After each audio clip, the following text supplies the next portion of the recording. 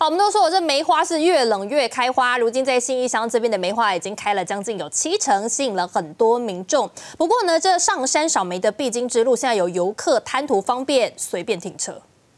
纯白典雅的梅花在枝头绽放，时序路东南投新一乡乌松仑梅花开满七成，就像雪花洒落在山头，十分浪漫。不少民众特地到此一游，想要一览梅花的绝美风景。不过想看美景，恐怕得先进入塞车车潮。塞车塞车，驾驶好无奈，因为车辆就在车阵中动弹不得。上山的车和准备下山离开的车，通通挤在一起。原本就十分狭窄的道路，现在会车更加困难。原来是民众为了赏梅，将爱车随意停放在路边，造成交通大打劫。这样子造成大家的不便。如果可以的话，是不是可以有找个地方可以开辟一个停车场，然后让大家都有地方可以停车？民众违停的部分，本局将依临停可以处罚新台币三百元以上六百元以下罚款，违规停车六百元以上。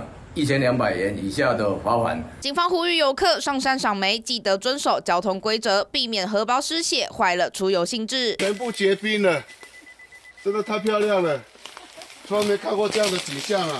武林农场藤花园里出现冰封奇景，冰柱在藤架上纵横交错，形成的冰网晶莹剔透，连花朵都变成美丽的冰花。眼前的场景如梦似幻。为了预防晚上的低温，所以我们这个管理人员啊，会在晚上会提前把这个水管的一个浇灌系统给打开，防止结冻。